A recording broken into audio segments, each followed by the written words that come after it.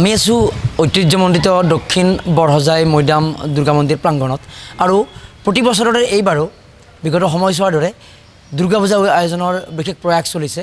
আৰু দক্ষিণ বৰহজাই মৈদাম দুৰ্গা মন্দিৰৰ বিভিন্ন বৈশিষ্ট্যৰ কথা তেওঁৰ সামাজিক সংযোগৰ বাবে ইতিমধ্যে অসম উত্তৰ পূবত তেওঁলোকৰ নাম ব্যতিক্ৰমভাৱে চৰ্চিত হৈ পৰিছে। আৰু এই চৰ্চিত এই মন্দিৰ প্ৰাংগণতে দুৰ্গা পূজা উদযাপনৰ বাবে আগবাঢ়িছে। আৰু তেওঁলোকৰ উদযাপনৰ বিভিন্ন বিষয় অৱগত কৰাৰ বাবে আমাৰ লগত বিষয়ভাৱে কেইবাগৰাকী আছে। বিশিষ্ট লেখক সমাজকৰ্মী আৰু লগতে দক্ষিণ বৰহজাই মৈদাম দুৰ্গা মন্দিৰৰ সম্পাদক আৰু দীৰ্ঘদিন ধৰি সমাজত জড়িত হীৰেণ চৌহাৰী ডাঙৰীয়া আছে। তাত আপোনাক স্বাগতম জনাইছোঁ। বাকীসকলকো আদৰণি জনাইছোঁ। এইবাৰৰ প্ৰস্তুতিৰ কোনটো দিশেৰে আগবাঢ়িছে? নমস্কাৰ। আমি দক্ষিণ বৰহজাই মৈদাম দুৰ্গা মন্দিৰ পৰিচালনা সমিতিৰ তৰফৰ পৰা সদৌ অসমবাসীলৈ শাৰদীয় শ্ৰী শ্ৰী দুৰ্গা পূজাৰ শুভেচ্ছা জ্ঞাপন কৰিলোঁ। আমি এইবাৰ আঠাইছ সংখ্যক দুৰ্গা পূজা উদযাপন কৰিম। আমাৰ দক্ষিণ মৈদাম দুৰ্গা মন্দিৰ পৰিচালনা সমিতিৰ ৰাইজৰ সহায় সহযোগত আমাৰ ইতিমধ্যে বিভিন্ন কাম কাজ আগবাঢ়িছে। আমাৰ মন্দিৰৰ এটা বৈশিষ্ট্য হ'ল যে আমাৰ ইয়াত মূৰ্তি বিসৰ্জন দিয়া নহয়। আমাৰ মা দুৰ্গাৰ স্থায়ী মূৰ্তি আছে মাৰ্বলৰ মূৰ্তি আছে। ঠিক তেনেদৰে মা দুৰ্গাৰ লগতেই গণেশ কাৰ্তিক সৰস্বতী লক্ষ্মী গোটেইকেইটা মূৰ্তি আমাৰ স্থায়ী মূৰ্তি।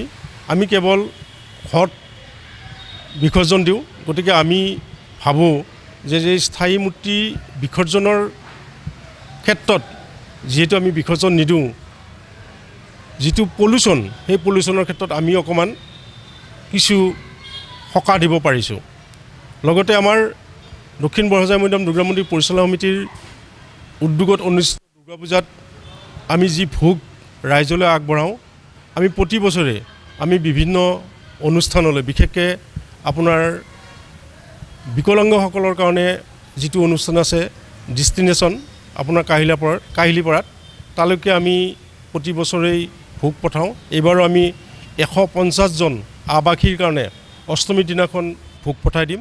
ঠিক তেনেকৈ সপ্তমী আৰু নৱমীৰ দিনাখন প্ৰায় এশ ষাঠিজন আৱাসীৰ কাৰণে আমি দুটা বৃদ্ধাশ্ৰম। আমি প্ৰমোদ তালুকদাৰ স্মৃতি বৃদ্ধাশ্ৰম যিটো আছে তালৈকে আমি ভোগ পঠাই দিম। আমাৰ ৰাইজৰ এইটো এটা সিদ্ধান্ত ভাল সিদ্ধান্ত। গতিকে আমি তেনেকৈ বিভিন্ন অনুষ্ঠান প্ৰতিষ্ঠানৰ সহায় সহযোগ যেনেকৈ পাইছোঁ আমি অনুষ্ঠান প্ৰতিষ্ঠানকো আমি আমাৰ ইয়াৰ পৰা নিৰ্মালী প্ৰসাদ ভোগ পঠাই দি তেখেতসকলৰ মনতো শাৰদীয় পূজাৰ অনুভৱ ল'বৰ কাৰণে দিবৰ কাৰণে আমি চেষ্টা কৰোঁ। আপোনাৰ বক্তব্যৰ পৰা এই কথাই এটা আমি বুজি পালোঁ যে দুৰ্গা পূজা উদযাপনৰ সমান্তৰালভাৱে যিকোনো বিষয় এটা উদযাপনৰ সমান্তৰালভাৱে তাত আমি এটা মানৱীয় দিশক তুলি ধৰাৰ আমি সুযোগ গ্ৰহণ কৰিব পাৰোঁ আৰু যিটো কাম বিভিন্ন সময়ত কৰি আহিছে। আৰু এইবাৰৰ দুৰ্গা পূজা উদযাপনৰ অন্যতম ব্যতিক্ৰমী দিশ দেখা পালোঁ আৰু বিভিন্ন সময়ত আমি সংবাদ পৰিৱেশন কৰি দেখিছোঁ যে ক'ৰবাত চমক থাকিব বিভিন্ন থাকিব। কিন্তু আপোনালোকে মানৱীয় চমকৰ প্ৰতিহে বেছি গুৰুত্ব দিছে। নিশ্চিতভাৱে আমি আপোনাৰ ইয়াত আধ্যাত্মিক দিশৰ ওপৰত বেছি গুৰুত্ব দিওঁ। আমাৰ যিখিনি ইয়াত সদাশয় ভক্ত গোট খায় তেখেতসকলক প্ৰতিজনকে বহিব দি অন্ততঃ একাপ চাহ যাচি আমি যিটো ভোগ খোৱাৰ ব্যৱস্থা কৰোঁ খিচিৰি ভোগ হয় আমাৰ ইয়াত বিভিন্ন ভক্তই আমাৰ ইয়াত খিচিৰি ভোগ দিয়ে। এই খিচিৰি ভোগখিনি আমি আমাৰ ধুনীয়াকৈ খুৱাই বুৱাই তেখেতসকলক পঠিয়াই দিওঁ। আমাৰ ইয়াত আপোনাৰ লাইটৰ খুব জাক জমকতা নাথাকে আৰু আপোনাৰ মানুহৰ যিটো সমাগম আমাৰ সন্ধিয়া নাম হয় আপোনাৰ নাম প্ৰদৰ্শন কৰা হয়। আইসকলে নাম প্ৰদৰ্শন কৰে। এইবাৰ আমি গাঁৱৰ ঢুলীয়া পাৰ্টি আমন্ত্ৰণ কৰিছোঁ। গতিকে তেখেতসকলক আমি গুৰুত্ব দিওঁ। গতিকে ইয়াত আমাৰ বাহ্যিক জাক জমকতাৰ বাদ দি আমি আধ্যাত্মিক দিশৰ ওপৰত বেছি গুৰুত্ব দিওঁ আৰু গুৰুত্ব দি আহিছোঁ। খৰচটো মিলাবলৈ নিশ্চিতভাৱে ৰাইজৰ সহযোগিতা গ্ৰহণ কৰিব লাগিব। সেই সহযোগিতা কেনেদৰে আহিছে? আমাৰ ইয়াত এটা খুব ভাল কথা আপোনাৰ আমি ঘৰে ঘৰে আমন্ত্ৰণ দিওঁ। আমন্ত্ৰণ দিয়াৰ পিছত তেখেতসকলে ইয়াত আহি আমাৰ বৰঙণিটো দিয়ে। যি পাৰে এজন মানুহৰ যাতে পইচাৰ সংগ্ৰহ কৰোঁতে মনত দুখ নাপায় এজন মানুহকো যাতে আমাৰ কোনো এজন সদস্য টানকৈ নকয় অৰ্থ সংগ্ৰহৰ ক্ষেত্ৰত আমি তাৰ প্ৰতি খুব সজাগ হওঁ। আৰু আমাৰ দক্ষিণ বৰহজাই মৈদাম দুৰ্গা মন্দিৰ পৰিচালনা সমিতিৰ এটা পৰম্পৰা দুৰ্গা পূজাই হওক বিহুৱেই হওক যজ্ঞই হওক অনুষ্ঠান শেষ হোৱাৰ এঘণ্টাৰ আগে আগে আমি ৰাইজৰ ওচৰত হিচাপ দাখিল কৰোঁ। আমি হিচাপ যিটো অডিটৰ যিটো হিচাপ হয় সেই হিচাপটো আমি এমাহৰ ভিতৰত আমি প্ৰদৰ্শন কৰোঁ। আমাৰ ইয়াত আমন্ত্ৰণী পত্ৰখনতেই থাকে যে পিছদিনাখন আমাৰ পৰ্যালোচনা হ'ব।